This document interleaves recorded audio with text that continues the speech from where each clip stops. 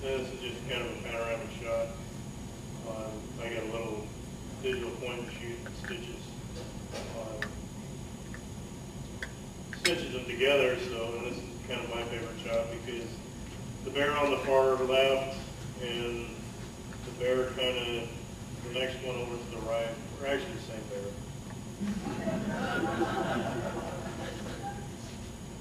And sometimes from the pad, you, uh, you get to see parts bears you don't normally see. And then, uh, this is down uh, at the lagoon, and you can see the Augustine volcanoes kind of letting off some steam this day. And you can see camp off to the, uh, right there. And this is a big, uh, big sow that's been around McNeil for many, many years.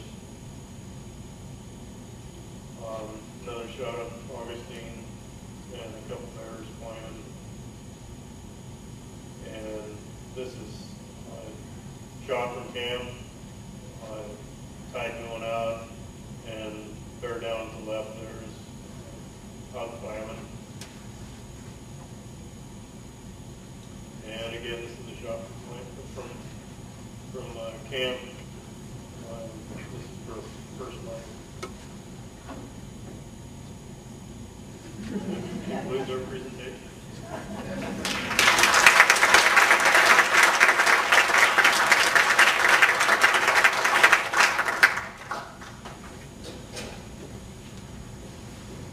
Thanks, that was Tony Carnahan.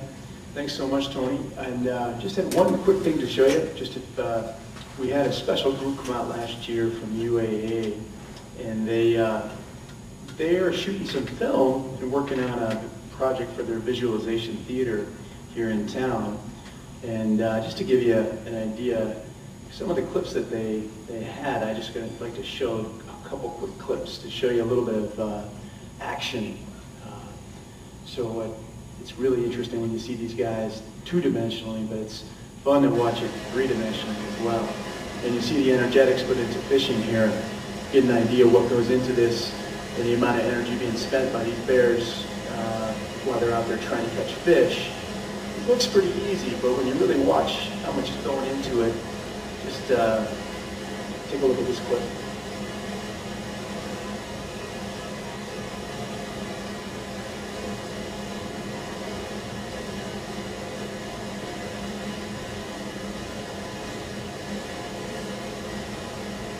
Just looking for a little glint of something in that white water, just something to make a plunge at.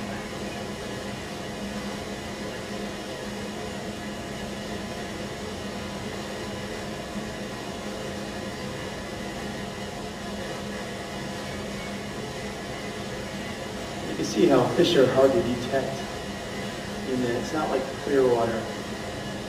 But then then again, the fish are a little bit more disoriented. Sometimes I believe the fish might even bump into the bears.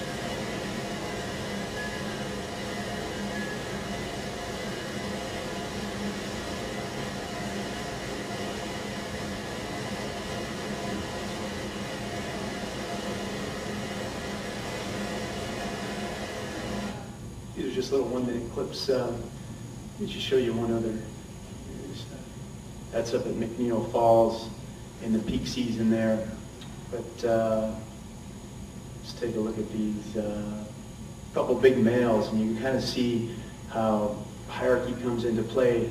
I believe the bear on the left is more dominant than the bear on the right. There's a little direct eye contact, and you see the bear on the right back up. And uh, a little bit of and popping there on the bear on the right. And he's going to move right behind that bear, bear on the left, and very carefully, very slowly. Um, no sudden moves. And you can kind of see this is, if you're interested in wildlife behavior, McNeil is extraordinary. Because you, if you're paying close attention, there's a lot going on all the time. And uh, you can kind of see this guy goes back to fishing left, right, left, right. Those gulls are in there waiting for anything they can pick up too. It's good to spend time around big omnivores.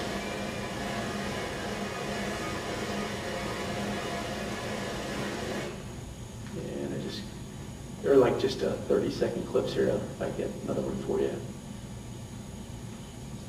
So Travis Rector at UAA is working on this project, and he wants to put together a a visualization program about all the great places in the state of Alaska, McNeil River being one of them. Here's a female uh, fishing the far side, lower, lower river, and uh, she's going to work her way up and down, like Drew said, up and down, and if she sees just something off to the left, she might make an attempt.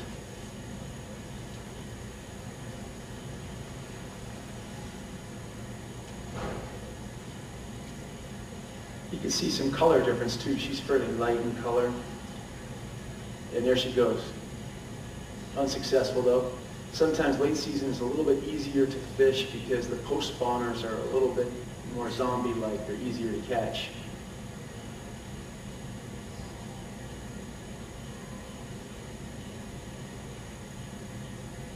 So we were just sitting across the river from this bear on that gravel area and uh, watching bears. And we give them a good 50 feet. We're back from the river and give them the main corridor uh, so they kind of move freely back and forth.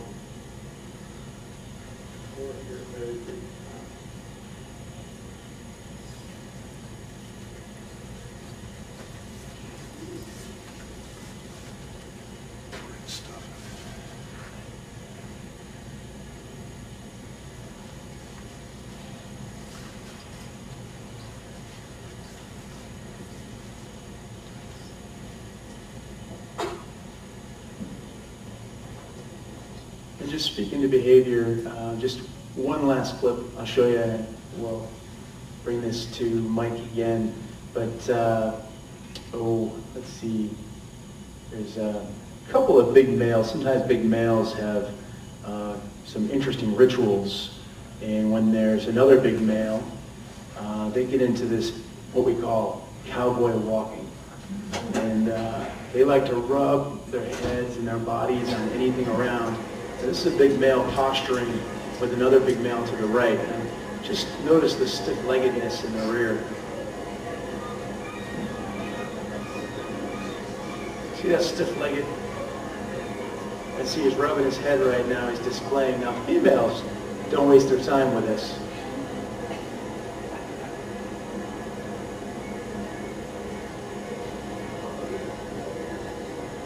There's another male cowboy walking on the left. so this is the kind of interesting things you can see at McNeil. It really makes it special. If you're interested in wildlife behavior, it's really something. They, and they rake themselves in these big tussocks of grass and even on the willow trees sometimes. And that's all I have. I'll leave it for Mike.